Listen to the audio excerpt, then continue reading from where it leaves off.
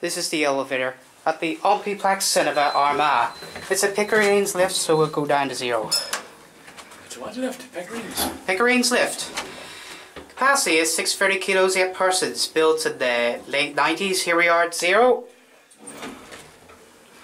Now walk up to two.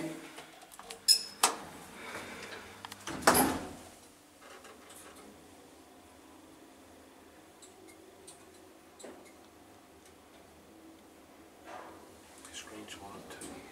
Here we are two. Pull that one out. Back down to one. And then the two. It's got the light fixtures up in the ceiling, it's got the burned out indicator. That indicator's not working. These are the fixtures. Remember see telephone just in case you get stuck. Now we can exit the elevator because the indicator must be need to be repaired and stays on peak up. Okay, and that's it.